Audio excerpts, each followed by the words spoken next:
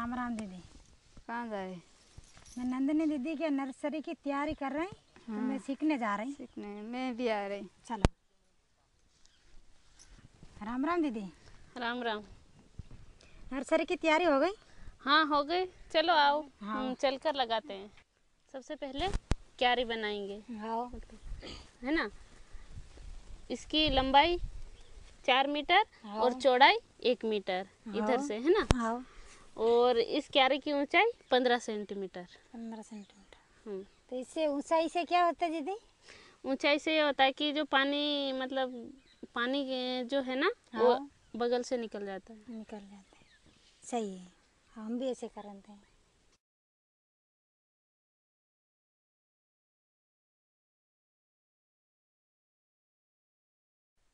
दीदी ये ट्राइकोडर्मा जो है ना इसमें अच्छी तरह मिला लेंगे अपन।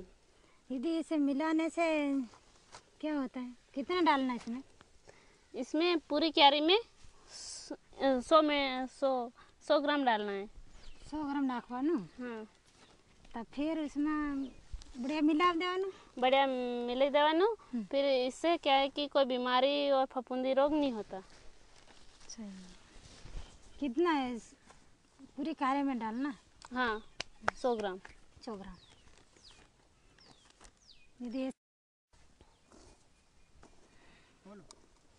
दीदी ट्राइकोडर्मा डालने के बाद अब ये गोबर की खाद डालेंगे इसमें।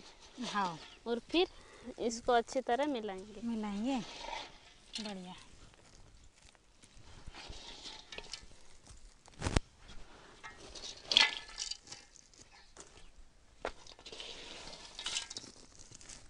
दीदी ये मिलाने में तो क्या फ़ायदा होता है? इससे अच्छे मतलब पौधे को ताकत मिलती है विकास अच्छा होता है और क्या। बढ़िया बने पौधा? हम्म। तो बढ़िया। इसे करेंगे अपन तो अगले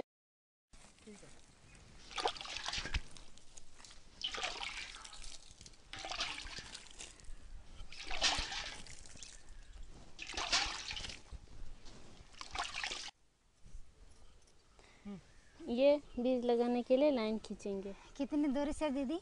लाइन से लाइन पाँच सेंटीमीटर। पाँच सेंटीमीटर? हाँ। और फिर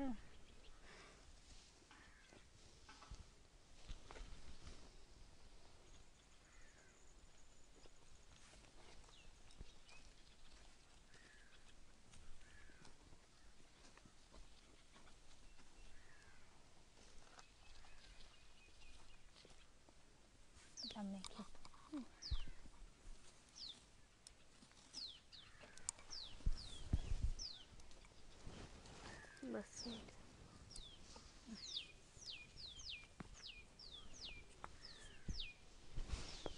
अब इस साइड से भी कर देंगे लाइन है ना? तो ये कितनी दूरी पे रखना है? बीज डेढ़ से दो मीटर के बीच में। दो सेंटीमीटर? हाँ डेढ़ से दो सेंटीमीटर के अंतराल पर बीज बोना है मतलब। डेढ़ से दो? सही बात। सही ऐसे हम भी करेंगे दीदी अब सीखने आए तो हाँ। पूछना पड़ते हैं बट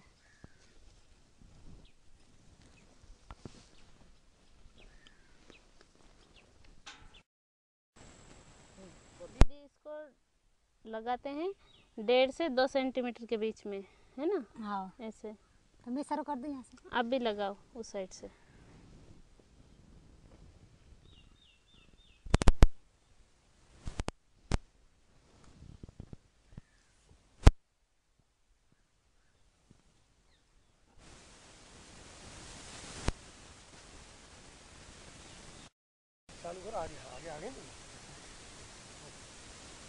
डेढ़ से दो सेंटीमीटर के बीच मतलब अंतराल पर लगाना है। हाँ। कितने? डेढ़ से दो सेंटीमीटर। डेढ़ से दो सेंटीमीटर? हम्म।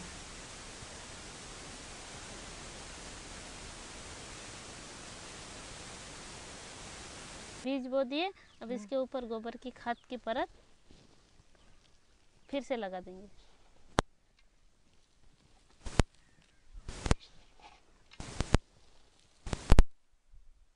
ये ऐसा गोबर रहता दीदी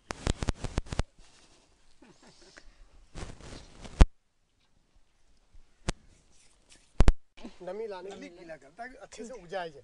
डालो। बोलो। इसमें मतलब बीज ताकि बढ़िया से उग जाए।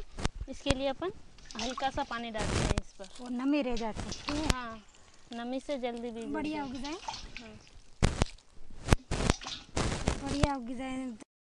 अब इसमें अपन घास डाल हाँ, दीदी आन तो खूब फ़ायदा था। इससे ये फ़ायदा होता है कि धूप भी नहीं पड़ती और पानी अपन डालते ना सीधा मतलब उस पौधे पर भी नहीं जाता। है ये नमी रहती ज़मीन। हाँ इसमें क्या है कि पानी इस पर गिरेगा यूँ डायरेक्ट हाँ। उस पर नहीं जाएगा पौधे पर। हाँ, तो नमी रहती है ये? इसमें नमी रहती है। तो बढ़िया उग जाती है।